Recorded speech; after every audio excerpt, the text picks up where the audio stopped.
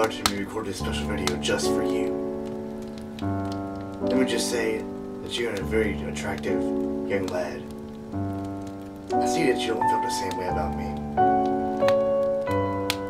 So sit back, relax, grab that hot cocoa to the left of you. Prepare yourself for some of the sexiest pickup lines you'll ever hear in your entire life.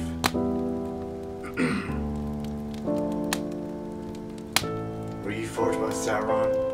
Because that shit is precious. Damn, girl.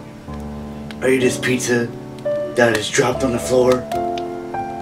Because even though it's got some hair on it, I'm still gonna eat it. Is your sister single? Because if she is, I just want to know if your mama's single. That way we, I can date them both at the same time. If you were a marshmallow, I'd fluff you good.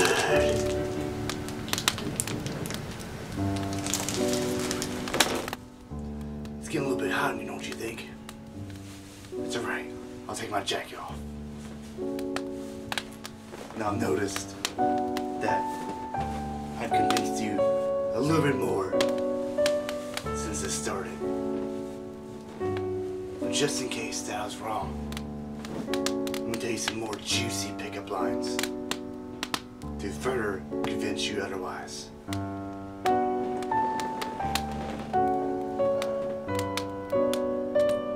I came across your profile and I was enamored by your beauty.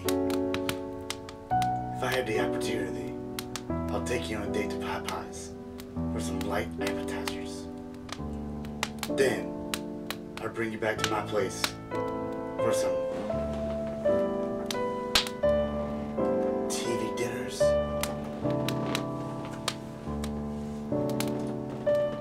Grape soda, or in this case, Mountain Dew.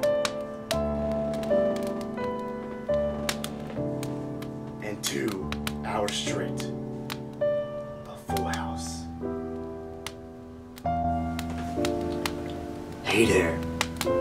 I once farted so hard, my cat had a seizure. Are you my appendix? Because I don't know how you work, but this feeling in my stomach makes me want to take you out.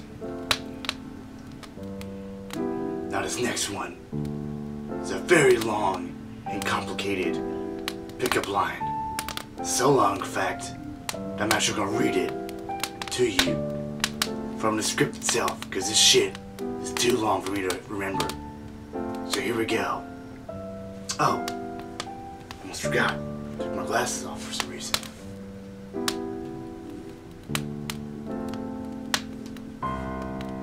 That's better. So here we go. Girl, I would pick you up my 01 Chevy Malibu, take you to the Taco Bell, and let you get that crunch wrap baby.